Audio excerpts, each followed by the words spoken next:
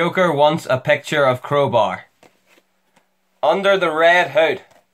Finally, the vigilante Gotham truly needs is here, the Red Hood.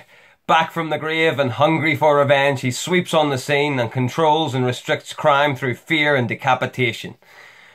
Batman, feeling insecure, teams up with Neil Patrick Harris to stop him from permanently preventing more Joker murders. Worth watching for Joker, who I think may be voiced by Bender.